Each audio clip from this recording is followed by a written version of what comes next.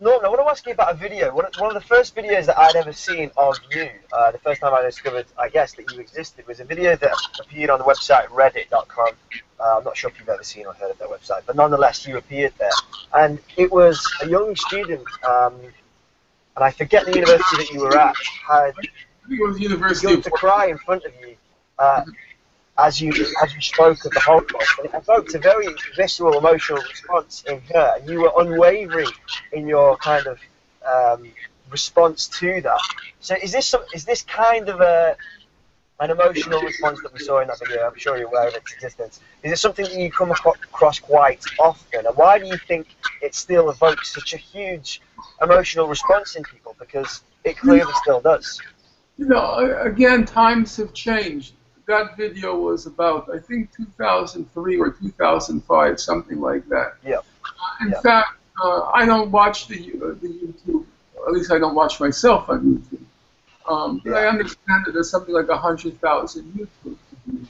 And if you, Yeah, look yeah. At, if you look at me in recent years, uh, the presentation is very even, it's very calm, the audience is very calm. I think usually we have fairly fruitful exchanges with dissenters in the audience.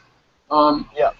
Uh, that particular video, there's a certain amount of, uh, a certain misunderstanding about it.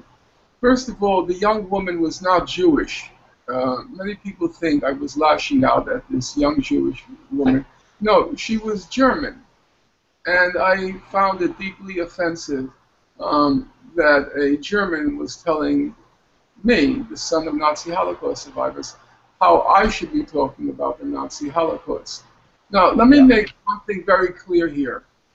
Uh, I, have a lot of very close German friends. Actually, most of my closest Jewish, many of my closest friends now are German. Uh, Ruth Bettina Birn, a brilliant scholar of the Nazi Holocaust. Maren Hackman, who's my editor.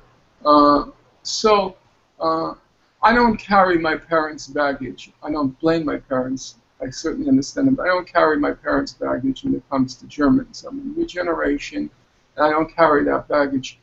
The thing is, many for many Germans, of which this young woman was exemplary, for them the Nazi Holocaust is a theater. It's a passion play. You're supposed to come up on stage and beat your chest and say, "Oh, how horrible it was! How horrible!" and then you're supposed to cry. And I don't, uh, I, I, I don't like that because it's phony.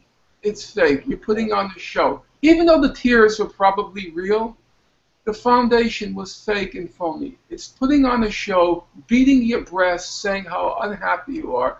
No, uh, if you have those sentiments, if you really are sad, it's something private. Don't put on shows for me.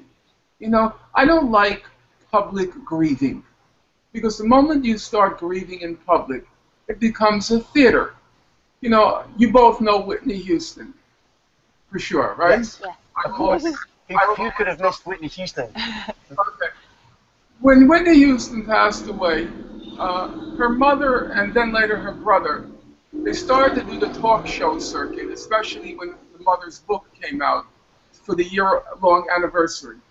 And I'm watching them like they're on Oprah. And the grief is real. The grief is real. I uh, no doubt in my mind about it. It's a mother who lost her daughter, a brother who Yeah. lost a sister. But I have to ask myself, why are you doing it on national television? Yeah. Why why aren't you doing that privately? What what is hmm. what is this national grieving? And that's how I felt with this woman. She wants to come out and show everybody in that audience at Waterloo how much she as a German is hurt by the Holocaust. Well, number one, young lady, I got news for you. As pained as you are, I'm a lot more pained because I had to live with my parents suffering for the entire duration of their life, till the last day of their life. So I'm a lot more pained than you. So please don't tell me about how to talk about the Nazi Holocaust. And number two, if you really are grieving, save it for the privacy of a room. Don't put it on show for everyone because then it becomes a theater, and I'm not interested. And I have, as I said, spare me the crocodile tears. I don't want to hear from it.